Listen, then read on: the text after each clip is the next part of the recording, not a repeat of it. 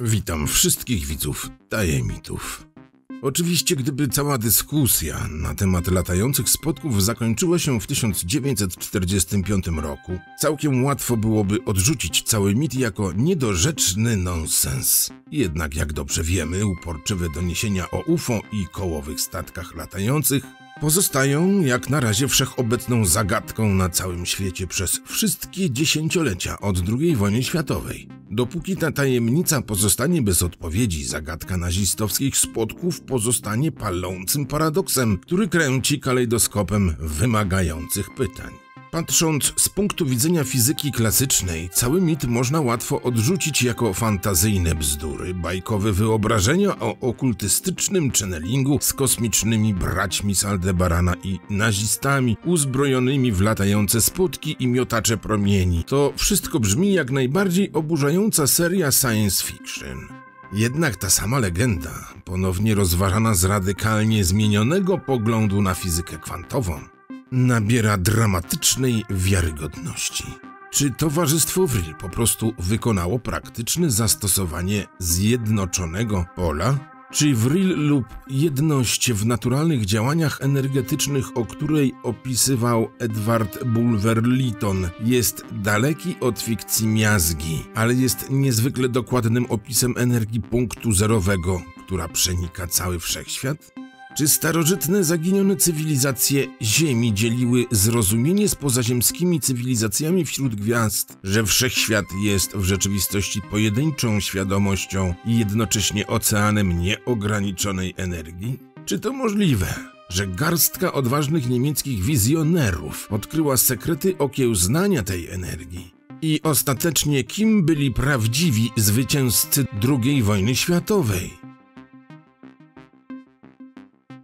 Czy kontyngent niemieckich fizyków, inżynierów i personelu wojskowego z powodzeniem opuścił Europę w 1945 roku i założył nową kolonię całkowicie samowystarczalną i niezależną od światowych karteli naftowych?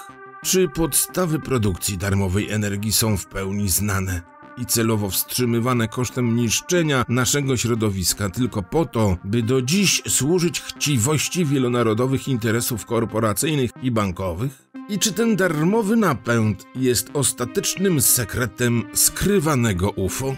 Oczywiście w latach bezpośrednio po II wojnie światowej tajemnica niemieckiego spotka jeszcze bardziej się pogłębiła. W czerwcu 1947 roku prywatny pilot Kenneth Arnold zgłosił formację dziewięciu błyszczących obiektów pędzących z bezprecedensową prędkością 6000 km na godzinę w pobliżu góry Rainer w stanie Waszyngton. Mówiąc słowami Arnolda, Statki leciały z zawrotną prędkością i wyglądały jak spotki, a w sumie jak płaskie kamienie puszczane nad wodą. Stąd prasa chwyciła się jego słów i zafascynowała publiczność latającymi spotkami, jednak Arnold faktycznie opisał statki jako bardziej w kształcie półksiężyca, jak latające skrzydła, co przypadkowo było kolejną formą powietrzną udoskonaloną przez niemieckich braci Horton podczas wojny. Podejrzewano, że przechwycone niemieckie samoloty były badane we wspólnym amerykańsko-brytyjskim ośrodku w zachodniej Kanadzie w pobliżu stanu Waszyngton. Cztery miesiące później, we wrześniu 1947 roku, zaledwie 8 miesięcy po przerwanej misji admirała Byrda na Antarktydę, strategiczne dowództwo powietrzne podjęło się szczegółowej misji mapowania i rozpoznania bieguna północnego. Prócz kamer bombowce były wyposażone w najnowocześniejszy skaner elektromagnetyczny, czujniki i detektory emisji magnetycznych i jak opisał Byrd, szybkie statki zdolne do latania od bieguna do bieguna ponownie napotkano na biegunie północnym. Załogi lotnicze, o których mowa, zgłosiły, że widziały metalowe pionowe spotki zaparkowane na występach lądowych, wlatujące i wylatujące z wody, a także omijające bombowce B-29. Wszystkie dowody, taśmy, kasety z filmami i dokumentacja zostały natychmiast utajnione i przewiezione pod strażą z powrotem do Waszyngtonu. Zgodnie z przechwyconymi dokumentami Niemcy planowali również zbudować lewitujący statek cylindryczny wielkości Cepelina zwany maszyną Andromeda. Ten liczący prawie 330 stóp behemoth mógł przewozić aż pięć mniejszych statków zwiadowczych w Ril i Hanebu. We wczesnych latach 50. człowiek z Kalifornii, George Adamski, sfotografował UFO niezwykle podobne do modelu Hanebu. Zrobiliśmy o tym film. Później Adamski twierdził, że miał kontakt z Nordykami wyglądającymi pozaziemsko w pobliżu Kalifornii, który twierdził, że pochodził z planety Wenus. Należy jednak zauważyć, że zdjęcia małego statku zwiadowczego, którym latał ten kosmita, pokazują projekt praktycznie identyczny z niemieckim Hannibal 2. Jak zwykle w takich sytuacjach, gdy ktoś dotyka prawdy, od razu zostaje okrzyknięty oszustem i tak też było z Adamskim. Ale mimo to raporty o UFO identycznych z wenusjańskim statkiem zwiadowczym nadal pojawiały się na całym świecie, co świadczyło za tym, że Adamski mówił prawdę, a jego zdjęcia były autentyczne. W 1954 roku prezydent Dwight Eisenhower spotkał się z istotami pozaziemskimi na lotnisku Murok w pobliżu Palm Springs w Kalifornii. Jedna konkretna grupa kosmitów została zgłoszona właśnie jako nordycka i zaoferowała technologię Eisenhowerowi wolnej energii w zamian za rozbrojenie nuklearne. Niestety, Ike odmówił. Jak głosi historia, te nordyckie istoty pozaziemskie spotkały się później również z papieżem Piusem XII w Watykanie. Oczywiście powszechnie wiadomo, że w czasie wojny Niemcy utrzymywały serdeczne stosunki z Argentyną i innymi krajami Ameryki Łacińskiej, a dziwnym zbiegiem okoliczności nawet dzisiaj powszechnie donosi się o UFO na całej długości i szerokości Ameryki Południowej wraz z opowieściami o ukrytych niemieckich bazach na lodowych szczytach Peru i rozległych dżunglach Brazylii. Jeden z takich podejrzanych i znajomych kształtem obiektów sfotografowano niedaleko Limy w Peru w 1973 roku. Ale być może najbardziej rażący wniosek o niemieckim związku z UFO pochodzi ze słynnej sprawy Billiego Meyera ze Szwajcarii. W 1975 roku, 30 lat po zniknięciu przywódców społeczności Vril, szwajcarski farmer twierdził, że ma kontakt z dziewczyną z Plejad, która nosiła pseudonim Semiase i uderzająco była podobna do Vrillerinen z 1919 roku. Ta kosmiczna dziewczyna również nosiła długie blond włosy, mówiła płynnie w języku austriacko-niemieckim i szczerze dzieliła się wszechstronną wiedzą na temat niemieckich projektów latających spotków z czasów II wojny światowej. Czy statki promienne Semiase były rzeczywiście współczesnymi wersjami starego Haunebu? A jednak zagadką pozostaje to, czy ocalałe współczesne pozostałości z III Rzeszy rzeczywiście posiadają tak znacznie lepszą technologię. A jednak zagadką pozostaje to, czy ocalałe współczesne pozostałości III Rzeszy na Antarktydzie rzeczywiście posiadały tak znaczącą, lepszą technologię.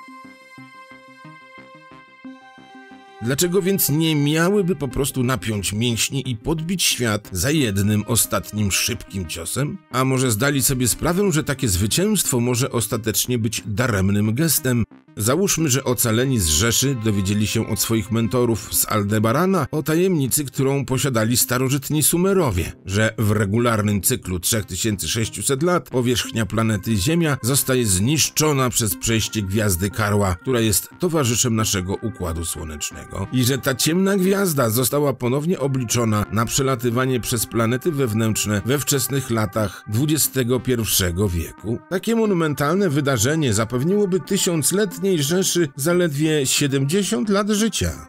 Czy zatem ocaleni z Rzeszy nie mogli mądrze zdecydować się na zniknięcie ze świata i stworzenie utwardzonych podziemnych schronów na odległych pustkowiach Antarktydy, cierpliwie przygotowując się do bezpiecznego przybycia karła mrocznej gwiazdy? Czy to możliwe, że wszystkie niesamowite lewitujące maszyny i technologie wykorzystujące darmową energię wymyślone przez społeczeństwa Thule i Vril są starannie trzymane w rezerwie na obecną nową epokę, przyszły czas, kiedy Ziemia wyzdrowieje po agonii spotkania swojej mrocznej gwiazdy? Być może odkryjemy odpowiedzi na te pytania szybciej niż zdajemy sobie sprawę. Tymczasem poszukiwanie rozwiązania zagadek nazistowskich spotków i tajemnic Aldebarana z pewnością nabrało większego znaczenia dla naszego obecnego świata w pierwszej dekadzie XXI wieku. Wydaje się ironią, że podobnie jak Niemcy przed II wojną światową, cywilizacja zachodnia jest niebezpiecznie zależna od zagranicznych źródeł ropy naftowej, zdominowane przez wrogie narody. Czy istnieje darmowa energia antygrawitacyjna? Czy tajemnica TR-3B, który podobno jest jednym z najnowszych, zaawansowanych technologicznie samolotów stealth US Air Force, które według plotek mają działać? Czy Astra to inaczej TR-3B? Ten statek ma kształt delty i jest zdolny do pionowego podnoszenia, a także wszystkich innych radykalnych ruchów powierzchni kojarzonych z UFO. To dziecko najnowszej technologii występuje w dwóch rozmiarach: jeden 300 stóp długości i jeden 600 stóp długości. Jego napęd jest opisany jako zakłócacz pola magnetycznego, czyli antygrawitacja. Stworzony jest przez wirowanie plazmy rtęciowej z prędkością 50 tysięcy obrotów na minutę pod ciśnieniem do 250 tysięcy PSI. Zmniejsza to masę grawitacyjną statku o 89%. Wielomodowe rakiety impulsowe w każdym rogu konfiguracji Delta dostarczają pozostałe 11% napędu. Czy ten samolot może być brzydkim pasierbem Hanebu 3? Warto zauważyć, że w starożytnych Indiach nazwa Astra odnosiła się do strasznej broni powietrznej. Jeśli taka technologia samolotów wydaje się zbyt daleko idąca, można by rozważyć to oświadczenie byłego dyrektora Sanks Works firmy Lockheed w strefie 51 Bena Richa. Mamy już środki, aby podróżować między gwiazdami ale te technologie są zamknięte w czarnych projektach i wymagałyby aktu Bożego, aby kiedykolwiek wydobyć je z korzyścią dla ludzkości. Przytacza się również wypowiedź Richa. Wszystko, co możesz sobie wyobrazić. Już wiemy, jak to zrobić. To warto wspomnieć tutaj o książce The Rise of the Fourth Reich autorstwa Jima Marsa która podąża powojennym szlakiem podstępnych tajnych wpływów nazistów w amerykańskiej polityce, wojsku i eksploracji kosmosu do dnia dzisiejszego.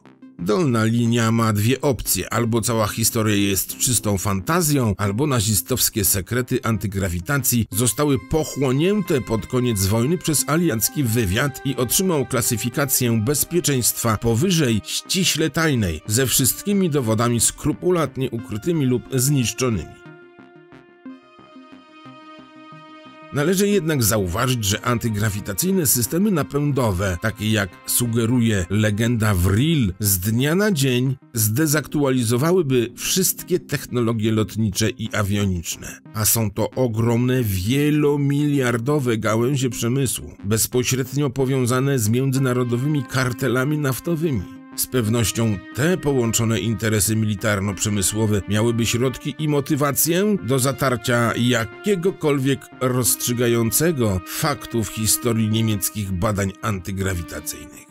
Na zakończenie tego odcinka rodzynek. Istnieje informacja, że podobno Fundacja Rockefellera zapłaciła w 1946 roku 139 tysięcy dolarów za zlecenie publikacji tzw. Tak oficjalnej historii II wojny światowej, która usunęła wszelkie odniesienia do mistycznych i okultystycznych interesów III Rzeszy. Jednym z głównych współpracowników Fundacji Rockefellera w tym zakresie był Standard Oil.